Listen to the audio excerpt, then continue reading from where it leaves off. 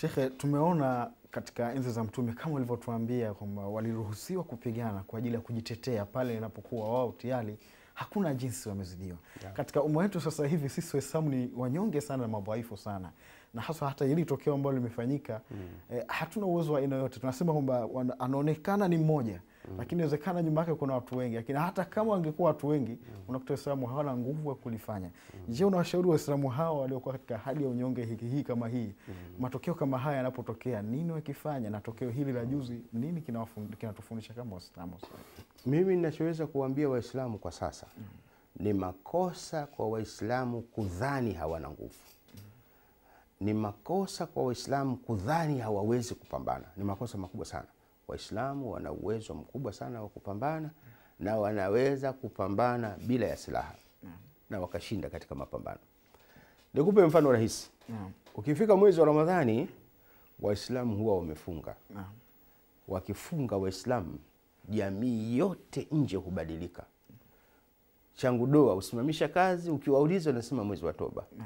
Wenye mabaa hufunga mabaa, ukiwauliza Ramadhani imeingia. Hii ni nguvu kwa Waislamu. Bahati mbaya hawajaijua kama ni nguvu, lakini wakiamua kutumia jambo lile kama silaha ya kupambana na adui yako, utapambana na adui yako na utamshinda bila ya kumwaga damu wala bila ya kutumia silaha. Kwa kweli, si kweli kwamba Waislamu hawana nguvu. Waislamu wana nguvu kubwa sana, isipokuwa nguvu walionayo hawajaweza kuitumia kwa ufanisi na hudhani kwamba sisi hatuna nguvu kwa kutazama nguvu za silaha zilizopo sasa, nguvu za kisiasa zilizopo sasa. Hizi ni nguvu bandia, nguvu za silaha, nguvu za alikuwepo Saddam Hussein hapa wa Wairaki walikuwa wametulia kabisa, ingawa dunia ilikuwa inamtangaza dikteta. Akaja mtu ana nguvu kubwa zaidi kuliko Saddam Hussein akamwondoa.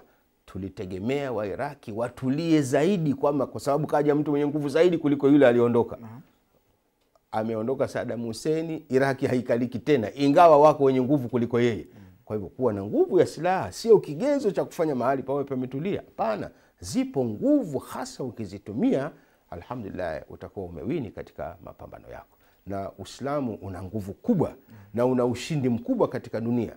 Katikati ya nguvu unazoziona za kisilaha na kisi- na kisiasa na kiutawala, lakini bado Uislamu umeendelea kupenya kila mahali penye nchi zenye silaha kubwa. Hivyo hivyo Uislamu unakwenda mpaka inafikia wale wasimamizi wa utengenezaji wa silaha, anaamua kusilimu yeye mwenyewe.